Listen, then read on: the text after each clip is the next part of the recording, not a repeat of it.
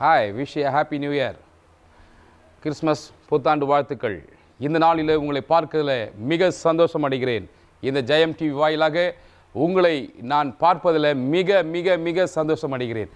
இன்றைக்கு நாம் பார்க்க போகிற செய்தி என்ன அப்படின்னு சொன்னால் இன்றைக்கு சந்தோஷம் எங்கே என்று திரிகிற ஜனங்களுக்கு கர்த்தர் சந்தோஷத்தை காட்ட விரும்புகிறார். இன்றைக்கு ஜனங்கள் எல்லாரும் நினைக்கிறாங்க எங்கே போனால் சந்தோஷம்? போய் நல்ல நதியில் குளித்தா நல்ல ஒரு நிம்மதி கிடைக்குமா? சந்தோஷம் கிடைக்குமா?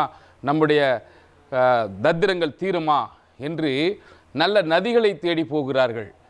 ஆனாலும் அந்த இடத்துல சந்தோஷமோ சமாதானமோ இல்லை நிம்மதியோ கிடைப்பதில்லை. நான் அதெல்லாம் செய்தவன் தான். அதுக்கு அதுக்கு பிறகு நல்ல இடங்களுக்கு செல்கிறார்கள். பயணங்கள் செல்கிறார்கள். யாத்திரைகள் செல்கிறார்கள். எல்லாவற்றிலும் அந்த சந்தோஷத்தை காண முடியாதவர்கள் கண்டுபிடித்தது என்னன்னா டாஸ்மார்க் ஒயின் ஷாப். இன்றைக்கு ஆண்டவராக இயேசு கிறிஸ்து சொல்லுகிறார் நீ அதை பாராதே என்று சொன்னார். நீ அதை பாராதே என்று சொன்னார். இன்றைக்கு நீ பாராதுன்னு சொன்ன அந்த வசனத்தின்படி இன்றைக்கி நாம் பார்க்க போகிறோம். என்னென்னா இன்றைக்கி சந்தோஷம் எங்கே? இன்றைக்கி பார்த்தீங்கன்னா நியூ இயர் என்று சொல்லி இந்த புந்து புத்தாண்டிலே புதிய வருஷத்தில் அநேகர் என்ன பண்ணுறாங்களாம் குடிக்கிறாங்க. குடிக்காதவங்க கூட குடிக்கிறாங்க. ஆண்களோடு சேர்ந்து பெண்கள் குடிக்கிறாங்க அப்படின்னு சொல்லி டாஸ்மார்க்கில் லட்சக்கணக்கான வருமானம் வருவதை கவர்மெண்ட் சொல்லுது. இந்த வருஷத்தில் இவ்வளோ டார்கெட் அப்படின்னு சொல்லி. அப்போ அப்படி குடித்து அந்த சந்தோஷம் நிரந்தரமான சந்தோஷமா அப்படின்னா இல்லைங்க. மது என்று சொன்னால் மா என்று சொன்ன முதல் எழுத்து மகிழ்ச்சியை தான் குறிக்கிறது. பிறகு தூ என்று முடிக்கிறதே அதுதான் துக்கத்தில் முடிகிறது. ஒருவன் குடிப்பானானால் அவனுடைய நிலைமை என்ன என்பதை வேதம் திட்டம் தெளிவுமாக உங்களை அழகாக வடிவமனை அமைத்து காட்டுகிறது. அதை குடிக்க வேண்டாம் என்று சொல்லி. அதான் நம்ம பார்க்க போகிறோம். இந்த இடத்துல ஒரு ஒயின் இருக்கிறது. இந்த ஒயின் இருக்கிறது இதை பாருங்கள் அடுத்தது இங்கே கொஞ்சம் ஒயின் இருக்குது அங்கங்கே கொஞ்சம் ஒயின் வச்சுருக்கிறேன். இதெல்லாம் பாருங்கள் அது கூட இந்த கோக் யூஸ் பண்ண போகிறேன் மற்ற எல்லாவற்றையும் நம்ம பார்க்க போகிறோம் இந்த செய்தியில் என்ன பார்க்க போகிறோம் அப்படின்னா ஐயோ யாருக்கு வேதனை? ஆரம்பிக்கும் போதே பாருங்கள் ஐயோ யாருக்கு வேதனை? யாருக்கு துக்கம்? அப்படின்னு கேட்குறார் யாருக்கு துக்கம்? யாருக்கு காரணம் இல்லாத காயங்கள்? யாருக்கு புலம்பல்? யாருக்கு ரத்தனம் கலங்கின கண்கள்? என்று கேட்கிறார். யாருக்கு? யாருக்கு? யாருக்கு? இதெல்லாம் யாருக்குங்க? அப்படின்னு சொல்லி பார்க்கும்போது எவன் ஒருவன் இந்த மதுபானத்தை நாடுகிறானோ அவனுக்கு தான். சரி இதுக்கு முடிவே இல்லையா? என்னுடைய கணவன் குடிக்கிறார் என் மாமனார் குடிக்கிறார் என் அண்ணன் குடிக்கிறார். இப்படி எல்லாரும் குடி போதைகளை அடிமையாய் கிடைக்கிறார்களே இந்த அடிமைத்தனத்திலிருந்து வெளிவருவதற்கு வேற வழியே இல்லையா? என்று நீங்கள் கேட்கலாம். வேற வழி இருக்கிறது. நானே வழியும் சத்தியும் ஜீவனும் என்று சொன்ன இயேசு கிறிஸ்து சொல்லுகிறார் இந்த மதுபானத்தில் வெளிவருவதற்கு குமாரன் விடுதலைக்கினால் மெய்யான விடுதலை. அந்த மெய்யான விடுதலை உங்களுக்கு வேணுமா? இந்த டிவியை பார்க்கிற என் ஜனங்களே மெய்யான விடுதலை வேணுமா? ஒருவன் குடிக்க ஆரம்பித்து விட்டான். எப்படி? என்று தான் பார்க்க போகிறோம். இங்கே ரெண்டு டியூப் இருக்குது. இங்கே பாருங்க. ஃபஸ்ட் ஒரு டியூப்பில் பார்க்குறோம். ஜஸ்ட்டு இந்த டியூப்பில் பார்த்த பாட்டில் இந்த டியூப்பில் வருது. பார்த்தீங்களா? அப்போ இன்றைக்கி பார்த்தீங்கன்னா இப்படி இருக்கிற ஜனங்கள் எப்படி மாற்ற முடியும். எப்படி செய்ய முடியும்? அப்படின்னு சொல்லி நம்ம பார்க்க போகிறோம் சரியா? ரெடி ஒன் டூ த்ரீ இங்கே ஃபஸ்ட்டு கொஞ்சம் குடிக்க ஆரம்பிக்கிறாங்க. மறுபடியும் கொஞ்சம் குடிக்க ஆரம்பிக்கிறாங்க. மறுபடியும் கொஞ்சம் குடிக்க ஆரம்பிக்கிறாங்க. மறுபடியும் என்ன பண்ணுறான் குடிக்க ஆரம்பிக்கிறாங்க. மறுபடியும் கொஞ்சம் குடிக்க ஆரம்பிக்கிறாங்க. இப்படி குடித்து குடித்து குடித்து அந்த குடும்பம் நடுத்தெருவுக்கு வருகிறது. இன்னைக்கு அநேக குடும்பத்தை நாம் பார்க்கலாம். குடியில் இன்றைக்கு அநேக பேர் குடல் வந்து அநேக ஆப்ரேஷன் செய்து மறித்தவர்கள் ஏராளம் பேர். மதுபானத்துக்கு அடிமையானவர்கள் குடும்பங்கள் சின்னாபின்னமாக சீர்குலைவது எப்படி? இன்றைக்கு டாஸ்மாக் கடைகளான இன்றைக்கு வருகிற காரியங்கள். ஆனால் இந்த மதுபானத்துக்கு கீழே எந்த பாட்டிலும் நீங்கள் பார்த்தீங்கன்னா மது என்ன உடலுக்கு கேடு அப்படின்னு சொல்லி போட்டிருக்கோம். இந்த கேடான காரியத்தை பாருங்கள் விற்கிறாங்க அதையும் வாங்குகிறாங்க எதற்காக அப்படின்னு சொன்னால் தன்னுடைய நிம்மதி கிடைக்கும் அப்படின்னு சொல்லி. நெவர் நிச்சயமாக கிடைக்காதுங்க. நீ தேடும் நிம்மதி அந்த இயேசு தருகிறார். இன்றைக்கு இப்படி நிம்மதி இல்லாத வாழ்க்கையில் சந்தோஷம் இல்லாத வாழ்க்கையில் கர்த்தர் இன்றைக்கு சொல்லுகிறார். அவர் சொல்லுகிறார் மதுபானம் இருக்கும் இடத்தில் தங்கி தாமரி தாமரிக்கும் கலப்பு சாராயம் நாடுகளுக்கும் தானே என்று சொல்கிறார் மூ முப்பதாம் வசனத்தில் முப்பத்தி ஒன்றில் பார்க்குறோம். மதுபானம் இரத்த வர்ணமாய் இருந்து பாத்திரத்தில் பளபளப்பாய் தோன்றும் பொழுது நீ அதை பாராதே. இது மெதுவாய் இறங்கும். இது எப்படி இருங்க பாத்திரத்தில் எப்படி இருக்குதுங்க? பளபளப்பாய் தோன்றுகிறது. இதை பாராதே என்று சொன்னார். இன்றைக்கு ஜனங்கள் எதை சொல்லுகிறார்களோ அதை செய்வதில்லை. பிள்ளைங்க கூட பார்த்தீங்கன்னா இதை சாப்பிடாதுன்னா அதை தான் சாப்பிடும். அன்னைக்கும் என்ன பண்ணாங்க? இந்த கனி நல்ல கனி இது கெட்ட கனி இதை சாப்பிடலாம் இதை சாப்பிடக்கூடாதுன்னு கடவுள் சொன்னார். ஆனால் என்ன பண்ணாங்க? அந்த கனியை சாப்பிட்டதுனால அவர்கள் சாபமானார்கள் அவர்களை வெளியேற்றப்பட்டார்கள் என்று பார்க்கிறோம். அதே மாதிரி தான் இந்த இடத்துல மதுபானம் எப்படி இருக்குதா? அது இரத்த வர்ணமாக இருக்கிறது. மதுபானம் நீ அதை பாராதே என்ற அதை பார்க்காதே என்ன? அவர் சொல்கிறாரு அதை பார்க்காதே.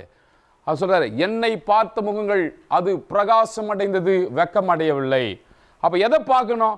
மதுபானத்தை நம்ம பார்க்கக்கூடாது. சரி. அதை பார்த்தா நம்ம என்ன ஆகும்னா அதை குடிக்க தோணுமா அது என்னம்மா? குடிக்க தோணும் அப்படின்னு சொல்லி பார்க்குறோம். அது அடுத்த வசனம் பார்க்குறோம். முடிவிலே அது பாம்பை போல விரியினை போல தீண்டும். அப்படின்னா பாம்பை போல அது என்ன ஆகுமா? தீண்டும் அப்படின்னு சொல்கிறாங்க அந்த அளவுக்கு அது விஷம் ஸ்லோ பாய்சன் அப்படின்னு சொல்லி நம்ம பார்க்குறோம். உங்கள் கண்கள் பரஸ்திரிகளை நோக்கும். நம்ம என்ன பண்ண மாட்டோம்? பார்த்துட்டு பொம்பளைங்களை என்ன பண்ணுவோம்? ஒரு மாதிரியாக பார்ப்போம். அதனால் வீண் பிரச்சனைகள் வரும். வீணான சண்டைகள் வரும் அப்படின்னு சொல்கிறாங்க சரிங்களா? அதுக்கு பிறகு பார்த்தீங்கன்னா நீ நடுக்கடலிலே சயனிக்கிறது போல இருப்பாய். அந்த நடுக்கடலில் அப்படியே இப்படி பார்த்தீங்கன்னா அப்படியே ஆடுவான். புரியுதுங்களா?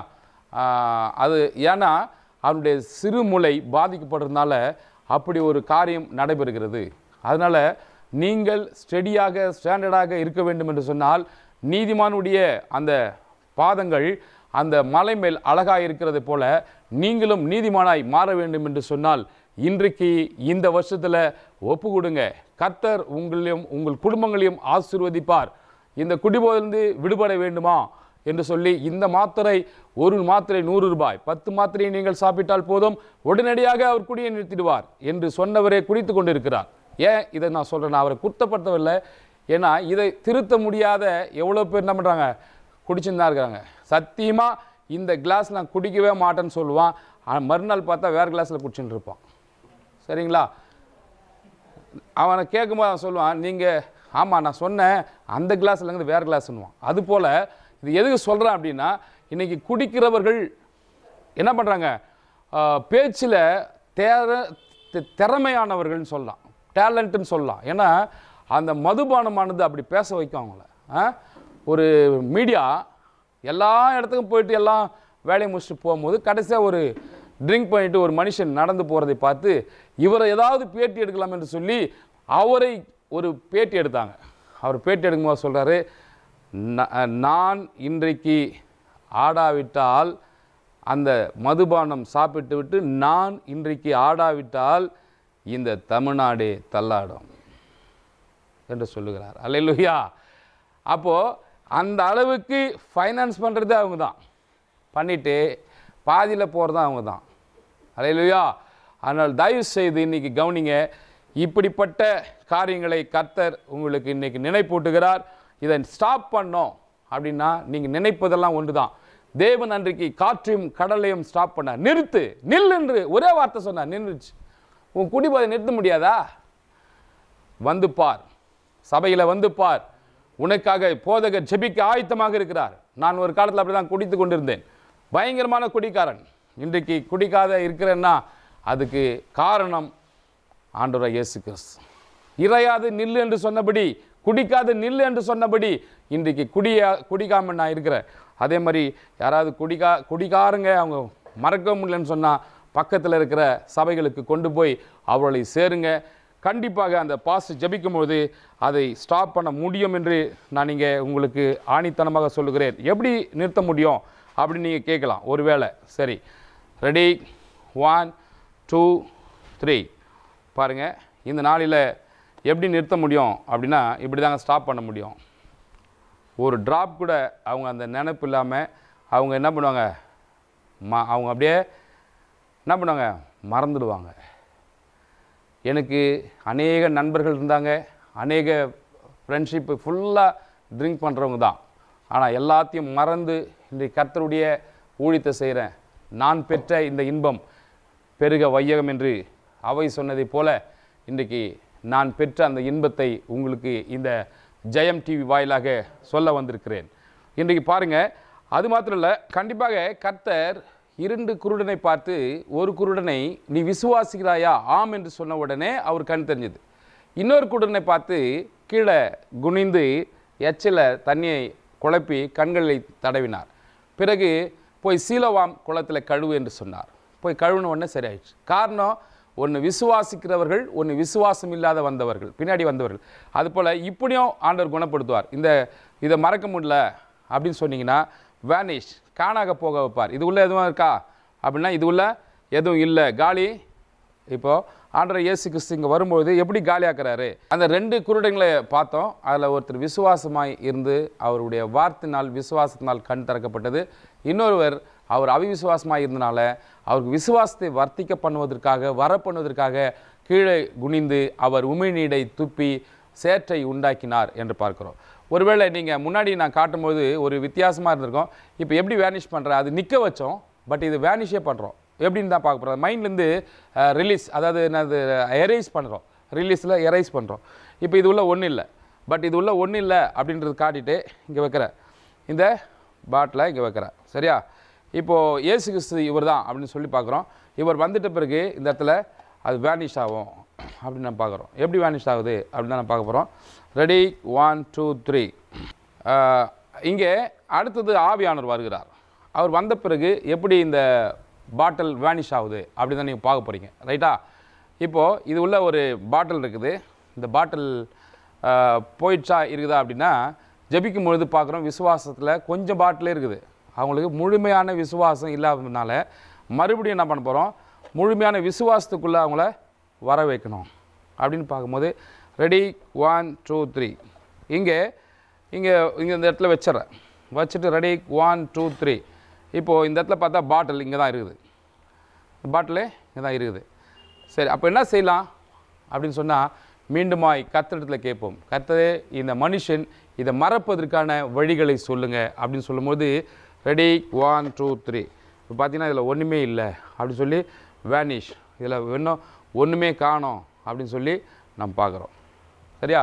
அப்போது அதை மறப்பதற்கும் கர்த்தர் வழிகளை உண்டாக்குவார். மறக்கவே முடியல அப்படின்றான் இல்லையா? அந்த குடிபோதையை அந்த பாட்டிலை அதை மறப்பதற்கும் கிறிஸ்து இயேசு வழி சொல்லுவார். அதனால் இந்த நாளில் இந்த நான் நியூ இயரில் உங்களை பார்க்குறேன். நிச்சயமாக இந்த சந்தோஷமான ச செய்திகளோடு உங்களோடு விடைபெற விரும்புகிறேன். நீங்கள் தேடும் நிம்மதியும் சந்தோஷத்தையும் சமாதானத்தையும் கத்ரா இயேசு கிறிஸ்து தருவார். ஆமேன். உங்களிடத்தில் விடைபெறுவது உங்கள் பால் தாமஸ்.